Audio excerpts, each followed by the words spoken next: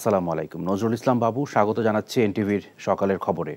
Crown cement শিরোনাম দেখছিলেন, এবার পুরো খবর। আজ ঢাকা বিশ্ববিদ্যালয়ের পার্শ্ববর্তী সড়ক এবং সারা দেশের বিশ্ববিদ্যালয় সংলগ্ন মহাসড়কে অবরোধ কর্মসূচি বাংলা ব্লকেট ঘোষণা করেছে বৈষম্য বিরোধী ছাত্র আন্দোলন।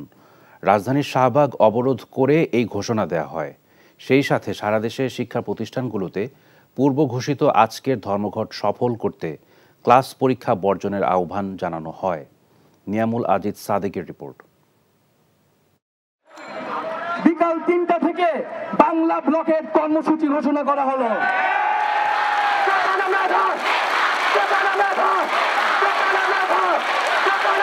সরকারি চাকরিতে কোটা পুনর্বহালের সিদ্ধান্ত বাতিলের দাবিতে সাপ্তাহিক ছুটির দিনে শাহবাগ অবরোধ করে কয়েক হাজার শিক্ষার্থী আমি জানি না আমার চাকরি হবে কিনা কিন্তু আমার আর পাঁচটা মেধাবী ভাই এখানে বসে আছে যাদের চাকরি অনেক দরকার। ছাপ্পান্ন পার্সেন্ট যদি মেধা শূন্য করেন তাহলে আপনার দেশের ফিফটি পার্সেন্ট মেধাবী থাকবেই না। তো বাংলাদেশকে একটা ভবিষ্যৎ অমেধাবী অযোগ্য তারপরে কোটাদারি সুবিধাহীন মানুষের দ্বারা কি বাংলাদেশ পরিচালিত হবে?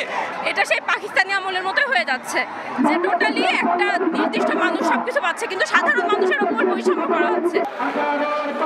এক ঘন্টারও বেশি সময়ের অবরোধে আশপাশের সড়কে বন্ধ হয়ে যায় যান চলাচল। শাহবাগ সাইসলেব চানখারপুল নীলক্ষেত, মতিঝিল প্রতিটি পয়েন্টে পয়েন্টে কলেজ এবং বিশ্ববিদ্যালয়ের শিক্ষার্থীরা নেমে আসবেন এবং বাংলা পকেট কর্মসূচিকে সফল করবেন। এবং যারা ঢাকার বাইরে শিক্ষার্থীরা আছেন তারা জেলায় জেলায় বিশ্ববিদ্যালয় বিশ্ববিদ্যালয়ে মহাসড়কগুলো অবরোধ করবেন নিজেদের আন্দোলনের যৌক্তিকতা তুলে ধরে অভিভাবক ও সাধারণ মানুষকে তাদের সঙ্গে যুক্ত হওয়ার আহ্বান জানানো হয়। ব্রেন ড্রেন দেশের বাইরে চলে যাচ্ছে মেধাবীরা। কারণ আপনি আটচল্লিশ বা চুয়াল্লিশ পার্সেন্টের মধ্যে আপনাকে ফাইট করতে হচ্ছে। সমাজের এই ন্যায্য আদায়ের পক্ষে ছাত্র সমাজ কোনো বাধাই মানবে না। আমরা এই অবস্থানে থাকব আমাদের সিদ্ধান্তে আমরা অবিচল থাকব। যতক্ষণ না পর্যন্ত আমাদের পক্ষে রায় না আসছে। এই আন্দোলন জোরদার হলে ইনশাল্লাহ আমাদের দাবি পূর্ণ হবে বাধা আসবে হবে সেখানে। এর আগে ঢাকা বিশ্ববিদ্যালয়ের বিভিন্ন সড়কে মিছিল করে ছাত্রছাত্রীরা। Niamul Aziz Sadek NTV news Dhaka. এখন জন্ম সনদ দিয়ে খোলো বিকাশ স্টুডেন্ট অ্যাকাউন্ট। নিজের বিকাশ নিজে কর। শিক্ষার্থীদের কোটা বিরোধী আন্দোলনের যৌক্তিকতার সাথে বিএনপি একমত। এমনটা উল্লেখ করে দলের মহাসচিব মির্জা ফখরুল ইসলাম আলমগীর শিক্ষার্থীদের দাবি মেনে নেয়ার আহ্বান জানান। পাশাপাশি শিক্ষকদের সর্বজনীন পেনশন স্কিম প্রত্যয় প্রত্যাহারেরও আহ্বান জানান মির্জা ফখরুল। দলের চেয়ারপারসনের গুলশান কার্যালয়ে সংবাদ সম্মেলনে তিনি এই আহ্বান জানান। হাসান মাহমুদের রিপোর্ট।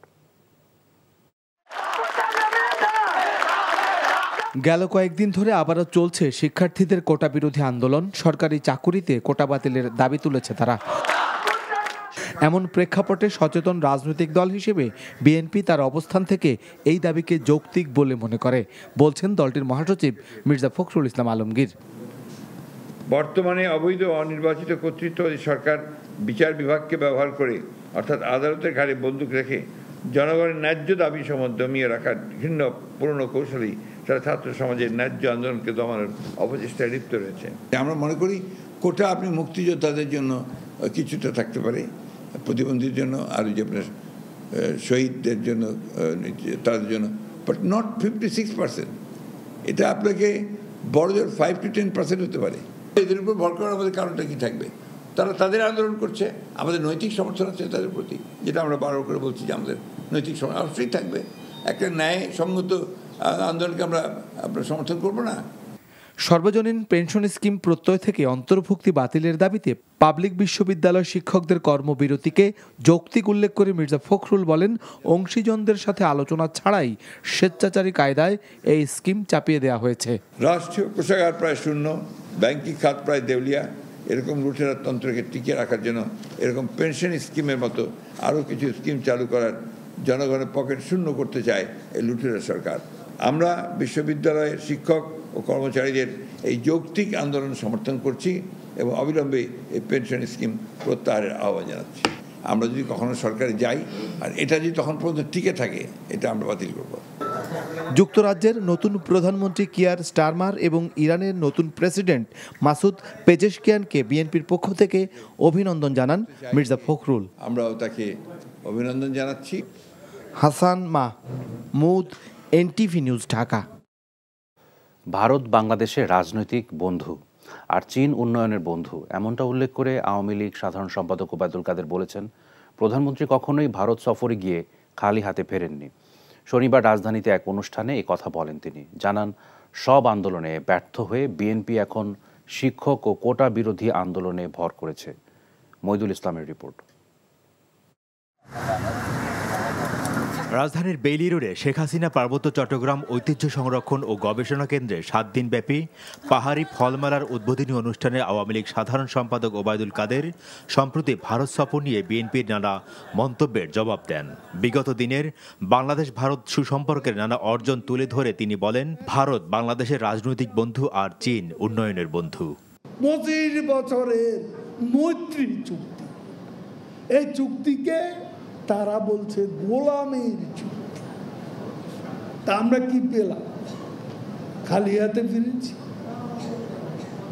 খালি হাতে আগেও ফিরিনি, এবারও ফিরিনি। দেখুন, চীন সফরে যাচ্ছেন। চীনের সাথে আমরা আমাদের পার্টনারশিপ আছে উন্নয়নের। ভারত আমাদের রাজনৈতিক বন্ধু। চীন আমাদের উন্নয়নের বন্ধু। সব আন্দোলনে ব্যর্থ হয়ে বিএনপি এখন বেগম খালেদা জিয়াকে রাজনৈতিক ঢাল হিসেবে ব্যবহার করছে আর কোটা বিরোধী আন্দোলনে ভর করছে বলেও মন্তব্য করেন ওবায়দুল কাদের। আন্দোলন করতে পারেন। এখনও ইস্যু খুঁজে বেড়াচ্ছে। খালেদা জিয়াকে ঢাল হিসাবে ব্যবহার করি। এখন বিএনপির কাজই হচ্ছে অন্য অন্যদের ইস্যুর উপর ভর করা। এখন শিক্ষকদের আন্দোলনের উপর ভর করবে, আবার সিদ্ধান্ত নিয়েছে কোটার উপরে, কোটা আন্দোলনের উপর ভর করবে নীতিগত সিদ্ধান্ত। অনুষ্ঠানে পার্বত্য চট্টগ্রাম শান্তি চুক্তি প্রসঙ্গ তুলে ওবায়দুল কাদের বলেন ওই চুক্তি পুরোপুরি বাস্তবায়নে এখনও সময় লাগবে কারণ সেখানে ভূমি সংক্রান্ত সমস্যা রয়েছে যা সহজে সমাধান করা যাচ্ছে না বলেও উল্লেখ করেন তিনি। Moidul Islam NTV news Dhaka. আজকের শিশুরাই আগামী দিনে স্মার্ট বাংলাদেশ গড়ার কারিগর হবে বলে আশা প্রকাশ করেছেন প্রধানমন্ত্রী শেখ হাসিনা। শনিবার টুঙ্গিপাড়ায় জিডি মডেল প্রাথমিক বিদ্যালয়ে বঙ্গবন্ধু কর্নার উদ্বোধনকালে এমন প্রত্যাশা ব্যক্ত করেন তিনি। দেশের স্বাধীনতা এবং ভালো কাজ সম্পর্কে জানার উপরও গুরুত্বারোপ করেন তিনি। গোপালগঞ্জের টুঙ্গিপাড়া থেকে নজরানা চৌধুরীর রিপোর্ট। গোপালগঞ্জের টুঙ্গিপাড়ার গিমাডাঙ্গা সরকারি প্রাথমিক বিদ্যালয়। উনিশশো পনেরো সালে প্রতিষ্ঠিত এই স্কুলে পড়াশোনা করেছেন জাতির জনক বঙ্গবন্ধু শেখ মুজিবুর রহমান। পিতার স্মৃতি বিজড়িত এই স্কুলে আসলেন কন্যা শেখ হাসিনা, প্রধানমন্ত্রী হিসেবে। বিদ্যালয়ের ক্ষুদে শিক্ষার্থীরা প্রধানমন্ত্রীকে তাদের বিদ্যালয়ে স্বাগত জানায়। বঙ্গবন্ধু কন্যাও পরম মমতায় তাদেরকে কাছে টেনে নেন। প্রায় ঘণ্টাখানেক শিশুদের সাথে সময় কাটান তিনি। এ সময় প্রধানমন্ত্রী এসো বঙ্গবন্ধুকে জানি শিরোনামের একটি অ্যালবামের মোড়ক উন্মোচন করেন। উদ্বোধন করেন বঙ্গবন্ধু কর্নারের। শিশুদের উদ্দেশ্যে রাখা বক্তব্যে শেখ হাসিনা বলেন, দুর্ভাগ্যজনকভাবে পঁচাত্তরের পর দেশের ইতিহাস মুছে ফেলার চেষ্টা হয়েছে। জাতিপিতা বঙ্গবন্ধু শেখ মুজিব ছোটবেলা থেকেই কিন্তু সাধারণ মানুষের জন্য কাজ করতেন। এই মানুষের জন্যই তিনি কাজ করতেন। নিজের জীবনের কোনো সুখ সুবিধা কিচ্ছু দেখেননি। শুধু একটাই ছিল এদেশের মানুষকে কীভাবে এই দারিদ্রের হাত থেকে মুক্তি দেবেন কীভাবে একটা উন্নত জীবন দেবেন এবং ছোট্ট শিশুরা জন্য একটা সুন্দর জীবন পায় সেটাই ওনার জীবনের লক্ষ্য। শিশুদের শুভকামনা জানিয়ে সরকার প্রধান বলেন তারাই হবে স্মার্ট বাংলাদেশের কারিগর। তাই সেভাবেই তাদেরকে লেখাপড়ায় মনোনিবেশ করার তাগিদ দেন তিনি। ছোট্ট সোনামণি তোমাদের জন্য তো আশীর্বাদ রইল। তোমার লেখাপড়া শিখে বড় হও, কারণ স্মার্ট বাংলাদেশ গড়ে তুলবো। সেই বাংলাদেশে তো তোমরাই হবে আসল স্মার্ট যা দেশ চালাবে, তাই না? তোমাদের মাছ থেকে হয়ে আসবে। আমার তো প্রধানমন্ত্রী, মন্ত্রী বড় বড় জায়গায় যাবে, গবেষণা করবে, বিজ্ঞানী হবে। আমরা একসময় চাঁদেও যাব, কোনো চিন্তা নাই। কাজে সবাইকে সেই, এখন থেকে সেভাবে প্রস্তুতি নিতে হবে, পড়াশোনা করতে হবে। তাই আমি সেটাই বলি, আমার দোয়া, আশীর্বাদ থাকবে পরে নিজ নির্বাচনী এলাকার টুঙ্গিপাড়া মাল্টিপারপাস পৌর সুপার মার্কেটের উদ্বোধন করেন প্রধানমন্ত্রী Sheikh Hasina. Nazrana Chowdhury, NTV news, Gopalganj. সাবেক আইজিপি বেনজির আহমেদের ডুপ্লেক্স বাংলো বাড়ি সিলগালা করেছে নারায়ণগঞ্জ জেলা প্রশাসন। একই সাথে চব্বিশ কাঠা জমিও জব্দ করা হয়েছে। আদালতের নির্দেশে শনিবার বিকেলে এই জব্দ কার্যক্রম পরিচালনা করেন জেলার প্রশাসক ও দুদক কর্মকর্তারা। নারায়ণগঞ্জ প্রতিনিধি বিল্লাল হোসেন রবিনকে সাথে নিয়ে আরও জানাচ্ছেন শফিক শাহিন। ঢাকা মহানগর পুলিশ কমিশনার, র্যাব মহাপরিচালক ও পুলিশের আইজি হিসেবে বেনজির আহমেদের ক্ষমতা ছিল দেশ জুড়ে। তেমনি অবৈধ আয়ে গড়া সম্পদও ছড়িয়ে ছিটিয়ে আছে দেশের বিভিন্ন জেলায়। এমন অভিযোগের ভিত্তিতে অনুসন্ধানে নেমে গোপালগঞ্জ, নারায়ণগঞ্জ, বান্দরবান, রূপগঞ্জ, পূর্বাচল, গুলশানে আড়াইশো একর জমি, রিসোর্ট, ডুপ্লেক্স বাড়ি ও ফ্ল্যাট জব্দ করে প্রশাসন। সবশেষ শনিবার নারায়ণগঞ্জের রূপগঞ্জে আনন্দ হাউজিং সোসাইটিতে বেনজিরের ডুপ্লেক্স বাড়িতে যায় জেলা প্রশাসন ও দুর্নীতি দমন কমিশনের কর্মকর্তারা। আদালতের নির্দেশে দৃষ্টিনন্দন ও আলিশান এই বাড়ি এবং চব্বিশ কাঠা জমি জব্দ করা হয়। Sabana eco resort private limited সম্পত্তিটি রক্ষণাবেক্ষণ, ব্যবস্থাপনা এবং তদারকির জন্য জেলা প্রশাসক নারায়ণগঞ্জকে রিসিভার নিয়োগ করা হয়েছে। আমরা জেলা প্রশাসক ও বিজ্ঞ জেলা ম্যাজিস্ট্রেটের নির্দেশক্রমে আজকে এই সাবানা ইকো রিসোর্ট প্রাইভেট লিমিটেডের সম্পত্তিটি নিয়ন্ত্রণে নিলাম। ক্ষমতার অপব্যবহার করে অবৈধভাবে এসব সম্পদ গড়েছেন বেনজির আহমেদ, এমন অভিযোগে তদন্ত শুরু করে দুদক। ব্যাখ্যা জানতে বেনজির ও তার পরিবার সদস্যদের তলব করা হয়। হাজির না হওয়ায় তাদের সম্পদের হিসাব চেয়ে নোটিশ পাঠিয়েছে সংস্থাটি। শফিক শাহিন এনটিভি নিউজ ঢাকা এখন জন্ম সনদ দিয়ে খোলো বিকাশ স্টুডেন্ট অ্যাকাউন্ট। নিজের বিকাশ নিজে কর। সরকারকে বিচলিত করার উদ্দেশ্যে মাধ্যমিক শ্রেণির সামনাসিক মূল্যায়ন পরীক্ষার প্রশ্নপত্র ছড়িয়ে দেওয়া হচ্ছে আর এতে জড়িত বিভিন্ন বিশ্ববিদ্যালয়ের প্রধান শিক্ষক। এমন দাবি করেছেন জাতীয় শিক্ষাক্রম ও পাঠ্যপুস্তক board NCTB chairman Mohammad Mashiuzzaman. এদিকে নতুন মূল্যায়ন পদ্ধতির পরিবর্তন চেয়েছেন অভিভাবকরা। শফি মাহমুদ সাগরের রিপোর্ট। নতুন কারিকুলামে গত তিন জুলাই থেকে সারা দেশে শুরু হয়েছে ষষ্ঠ থেকে নবম শ্রেণির বিষয়ভিত্তিক ষান্মাসিক সামষ্টিক মূল্যায়ন পরীক্ষা। তবে পরীক্ষার প্রশ্ন আগের রাতেই পাওয়া যাচ্ছে সামাজিক যোগাযোগ মাধ্যমগুলোতে। ইন্টারনেটে মিলছে প্রশ্নের সমাধানও। পরীক্ষার আগের দিন রাতে যে আমরা প্রশ্ন পেয়ে যাচ্ছি, এই জিনিসটা একটু অনেক খারাপ যে আমরা সারা বছর পরে এসে যদি পরীক্ষার রাতে যদি প্রশ্ন দিয়ে দেয় তাহলে তো আমাদের আর কম্পিটিশনের দিকটা হচ্ছে না। আমরা প্রশ্ন পাচ্ছি বাট প্রশ্ন কিছুই বুঝতে পারি না তো বাসায় এরকম ভাবে এই জন্য প্র্যাকটিস করা হয় না।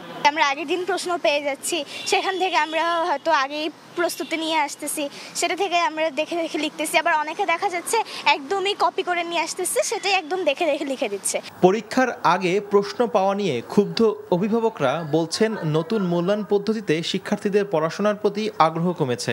তবে ভিন্ন মত অনেক শিক্ষকের। ওরা যথেষ্ট উৎসাহ নিয়ে আমাদের এখন কার্যক্রমের সাথে সম্পৃক্ত হচ্ছে। অনেকগুলো ক্লাসে আমাদের হোমওয়ার্ক থাকে।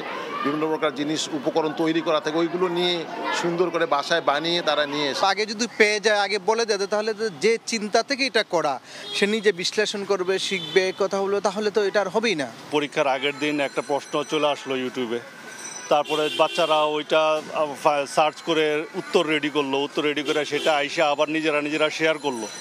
এইটা কি ধরনের পরীক্ষা আর কি ধরনের মূল্যায়ন এটা আমরা এখনও বুঝতে পারতেছি এনসিটিভি চেয়ারম্যান জানান কিছু শিক্ষক পরীক্ষার আগের রাতে সামাজিক যোগাযোগ মাধ্যমে প্রশ্ন ছড়িয়ে দিচ্ছে।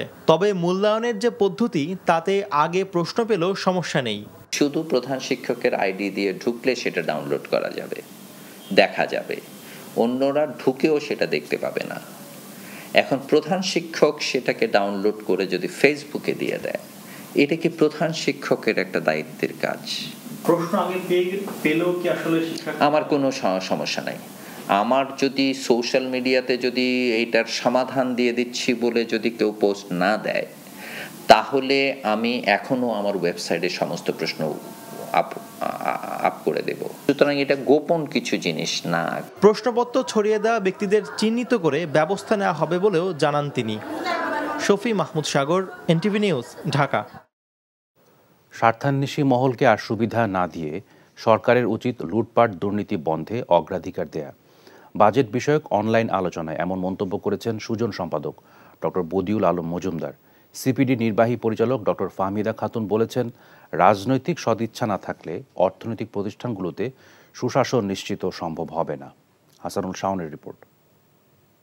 কর্মকুফের সুবিধা অন্যদিকে বাজেট এবং আগামী দিনের অর্থনীতি বিষয়ে ফোরাম ফর বাংলাদেশ স্টাডিজের এই অনলাইন আলোচনা যাতে অর্থনীতিবিদরা বলেন চলতি অর্থবছরের বাজেটে রাজস্ব আদায় সহ নানা ক্ষেত্রে সরকার অবাস্তব লক্ষ্য নির্ধারণ করেছে। এছাড়া আর্থিক খাতের প্রতিষ্ঠানগুলোতে সুশাসন নিশ্চিতের তাগিদ দেন আলোচনার বক্তারা। যেখানে দেখবেন যে রাজনৈতিক স্বচ্ছতা, জবাবদিহিতার ঘাটতি আছে, সেখানে কিন্তু অর্থনৈতিক প্রতিষ্ঠানগুলো খুব দুর্বল থাকে এবং সেগুলো ঠিক মতো কাজ করে না। এবং যেহেতু রাজ, অর্থনীতি রাজনীতির বাইরে না, তো রাজনৈতিক, অর্থনৈতিক একটা, এমন একটা পরিবেশ, সেটা সেখানে অর্থনৈতিক নীতিমালাগুলি প্রথমত দুর্বল কিংবা নীতিমালাটার মধ্যেই ঘাটতি থাকে এবং দ্বিতীয়ত হচ্ছে সেটা বাস্তবায়নের ক্ষেত্রেও। বক্তারা আরও বলেন জনগণকে বিভ্রান্ত না করে স্বচ্ছতা ও জবাবদিহিতা নিশ্চিতের নীতি গ্রহণ করতে হবে সরকারকে।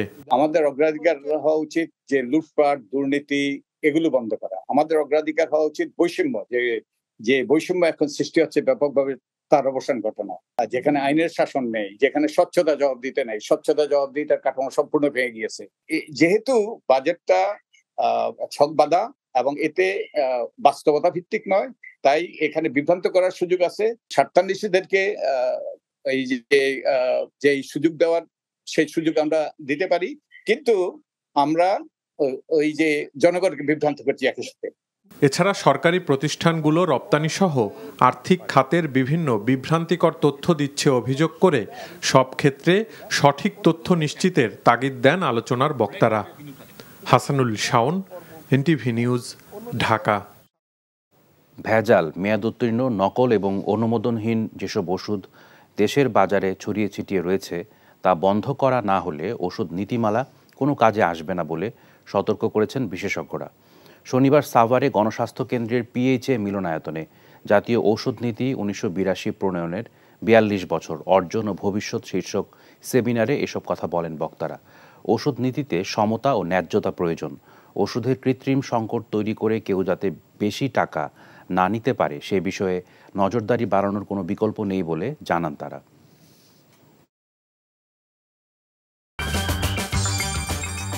এই ছিল সকালের খবরে। এই খবরের ভিডিও সহ আপডেট জানতে ভিজিট করুন NTV online W dot NTVBD dot com এছাড়াও এনটিভির জনপ্রিয় সব অনুষ্ঠান ও খবরের আপডেট জানতে ভিজিট করুন আমাদের ইউটিউব ও ভেরিফাইড ফেসবুক পেজ ধন্যবাদ সবাইকে।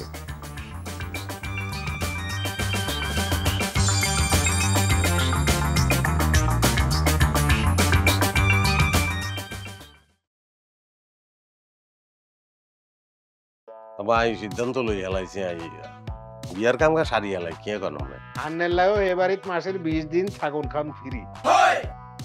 আলহামদুলিল্লাহ বিয়া হয়ে গেছে।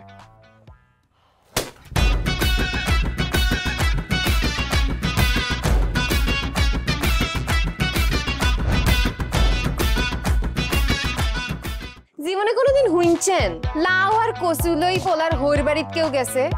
আর কথার বাইরে যদি এক পা আপনি যান আই আন্নেরে সুজা তালাক দি দিমু বুঝছেন নি? ভাইয়া কিছু টিয়া পয়সা দেন কামড় দে আরে খাই পেলা। লবণ দিয়ে আরে খাই পেলা। আই চাই না আর জামাই ঘর জামাই থাক।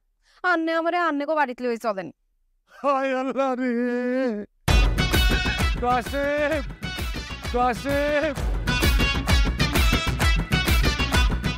আমনেরে বহায় বহায় খাওয়াইতে পারতাম না। আমি কাম করি খান। এরে কাম করছি নি খেতে কোনোদিন নাই হুম? আচ্ছা আর জীবনটা এরকম চিনি মিনি কিনলেই কিনলি তুই কি আর হোলারে বিয়ে দি ওর বাড়িতে আড়াইছ না অন আরে তো ওই বাড়িতে একবার যাইতে হতে না কিনলে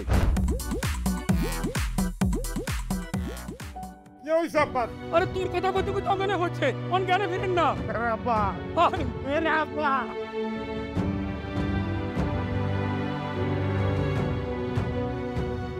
ওরে আর ডঙ্গের কথা রে। আমরা বলি স্বামী স্ত্রী। শুনেন? আন্নে আর কাগজের স্বামী। মনে প্রাণে ন। আন্নে কালকে ও এতিমের লাইন হারাইতে চলে গেছেন। এত রান্না টিয়া হয়েছে ক্যাশ কিচ্ছু দিয়ে যান না। আর আব্বুল্লাকে একবেলা কথা কইছেন না হারলে কলজে হাঁড়ি পড়ি যাইও ভাই। ব্যাকের লই মিলিমিশি কেমনে থাকুন যায় কেমনে শান্তিতে থাকুন যায় বাইসির কোনো দিন তুই ঠিকই কইছিস বাজে। ঠিকই কইছিস। টিয়া পয়সার লোভে করি আয় আর কোনো দিকে চাইবার সুযোগ হয় না। কোনোদিন ভাবিও না। অথচ মানুষ এই দুনিয়াত বাঁচতে গেলে আরও যে মানুষ লাগে, সেটা তো আমি জানতাম না।